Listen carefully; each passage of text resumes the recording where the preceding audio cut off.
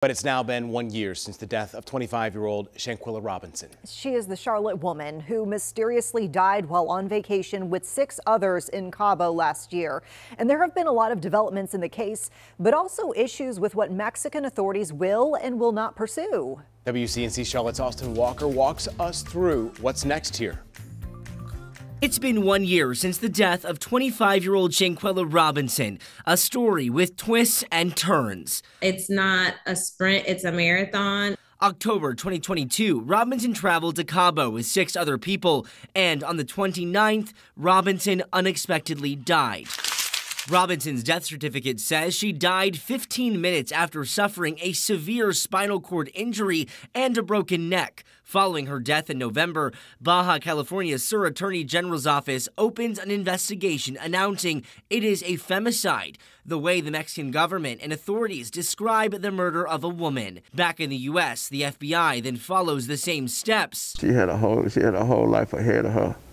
She didn't, you know, she didn't deserve this whatsoever. Shanquella's father, Bernard Robinson, then asked Mexican authorities to charge all six people who she traveled with to Mexico, saying they were responsible for her death. The case then gaining national attention from the White House.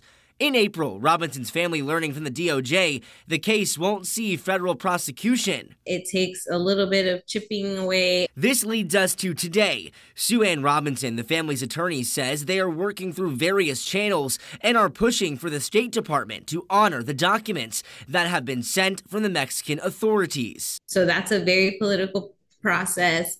It can take time. Robinson says it's been a years long battle with challenges along the way capturing their attention long enough for them to focus on this issue with the goal of justice for the people responsible for the death of Shanquella Robinson to be extradited to Mexico. Right now, there is only one person Mexican authorities are looking to extradite, and there have been no arrests made in connection. Austin Walker, WCNC Charlotte.